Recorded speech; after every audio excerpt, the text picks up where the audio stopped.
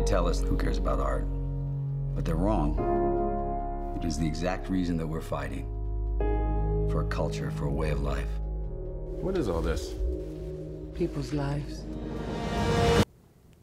George Clooney's The Monuments Men features an incredible ensemble cast with talent such as Clooney, Matt Damon, John Goodman, Bill Murray, and Cate Blanchett. Unfortunately, the ensemble cast only adds to the disappointment of this picture. Be that as it may, the film is based on a remarkable true story. As the end of World War II looms near, a small platoon of architects and artisans are tasked with finding artwork stolen by the SS. Frank Stokes, played by Clooney, gathers his bunch of merry misfits and embarks on a quest to preserve a thousand years of culture. The plot is simple and inherently cinematic, but Clooney fails to achieve any narrative cohesion. The script, written by Clooney and Grant Heslov, is woefully old-fashioned and sentimental. Between comically drawn-out death scenes and random attempts at slapstick humor, the film loses almost all of its momentum within the first half hour. Worse yet, the movie is unspeakably boring. In the light of recent Oscar fare, the two-hour running time feels interminable by comparison.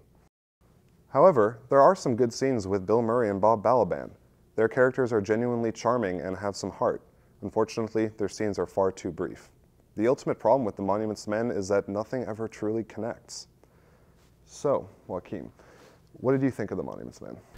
Honestly, this could have been turned into like a miniseries or like a made-for-TV film. I mean, two-hour running time it just wasn't enough to tell the story, let, let alone have like this all-star cast and, and turn it into a sort of Ocean's Eleven type sort of film. Exactly, and honestly, I feel like this story might have been better served by a documentary or something of that nature because I felt like the film was trying to be too informative and I just couldn't connect to the characters. And it's a historical film. I mean, take place in World War II. I mean, I'm a wartime junkie myself, but still, this could have been well executed. Just tell some more of the story, not just like within, like, within those two hours, but still, they could have like expounded on the stories, like the locations of some of those hidden items, and then like woo us to the point of Oscar nomination.